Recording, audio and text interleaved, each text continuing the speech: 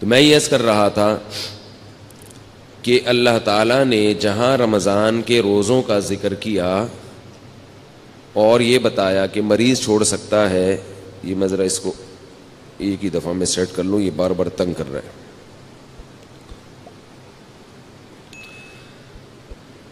जहाँ अल्लाह ताला ने रमज़ान के रोज़ों का हुक्म दिया और मरीज़ और मुसाफिर को छूट दी अल्लाह ने वहीं पे दुआ का तस्करा किया है।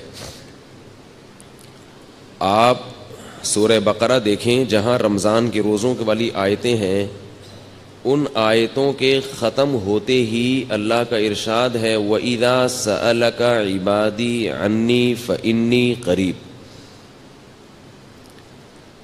ए नबी, जब मेरे बंदे आपसे मेरे बारे में पूछें तो उनको बताइए कि मैं उनके करीब हूँ।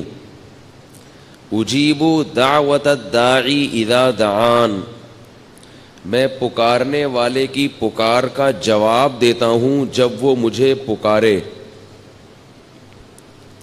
फल यस्तजीबूली फल यस्तजीबूली लिहाजा वो भी मेरी पुकार का जवाब दें। जब मैं उनको बुलाऊं तो वो भी आए।